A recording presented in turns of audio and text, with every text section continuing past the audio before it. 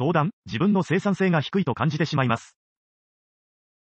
プログラマーの生産性が人によって100倍以上違う理由の動画を拝見したのですが、自分は今営業の会社でプログラマとして自社ウェブサービスの開発を一人で担当している、プログラマが私しか会社に在籍していないのですが、自分自身の生産性が低い気がして悩んでいます。というのも、1日にかけるコード行数は多くて500行程度、少ない時は100行とかしか書けないんです。時間配分は既存ソースコードの解析が20%、アルゴリズムの組み立てが40%、オブジェクト思考ベースでの設計が30%、残り10%程度が実際のコーディング時間といった感じです。もともと今担当しているプロジェクトのウェブサービスが外注によって、使い回しのソースコードで組み立てられており、品質としては最悪といった具合でこっちにバトンタッチされた感じで、ソースコードの解析は必須なのと、フレームワークなしのバニラ PHP で9割以上が手続き型で書かれているので解析に時間がかかるのは否めないのですが、それでも生産性が低いのでは、と思ってしまいます。自分しか理解できないソースコードを書くのはとても嫌で、抽象化して中身を見なくても別な人が追加開発できるように心がけており、汚いソースコードが気になってしまう性格も相まって開発スピードを下げている気がしています。やはり設計の部分である程度妥協する方がいいのでしょうか？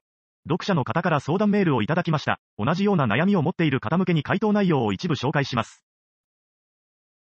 仕事の質をどう計測する ?1 日にかけるコード行数は多くて500行程度、少ない時は100行とかしか書けないんです。時間配分は既存ソースコードの解析が20%、アルゴリズムの組み立てが40%、オブジェクト思考ベースでの設計が30%、残り10%程度が実際のコーディング時間といった感じです。生産性は、書いた行数だけではないので、どれだけ既存ソースコードの解析ができたかどれほど良いアルゴリズムの組み立てができたかどれほど良い設計ができたかも、生産性に含まれます。しかも、回収フェーズで1日に100項もかければ、行数だけで測ったとしても十分な数です。回収の場合、どこを変えればいいのかを解析するのに数日かかって、産業コードを追加したら完了みたいなことはいくらでもありますからね。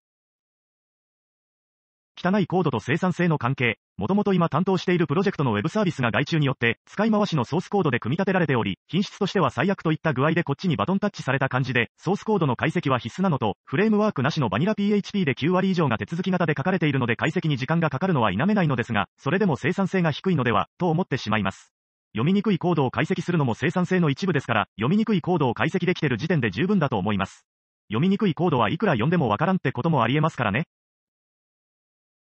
潜在的な生産性を大切にしよう。自分しか理解できないソースコードを書くのはとても嫌で、抽象化して中身を見なくても別な人が追加開発できるように心がけており、汚いソースコードが気になってしまう性格も相まって開発スピードを下げている気がしています。やはり設計の部分である程度妥協する方がいいのでしょうか？山郎さんの意見をぜひお聞きしたいと思っています。汚いソースコードをわかりやすいコードへと書き換えることは、今後の生産性につながります。コードが読みやすくなることで、あなたの生産性だけでなく、そのコードを読む他のエンジニアの生産性まで向上します。汚いコードをその場しのぎの手軽な手段で回収するのはその回収1回の生産性は高いように見えても、潜在的な生産性、今後の回収時の生産性まで含めると、あなたがやっている抽象化して整った構造のコードに書き換えるやり方の方が生産性はずっとずっと高いので、妥協などせず、そのような素晴らしい仕事を続けていけばいいと思います。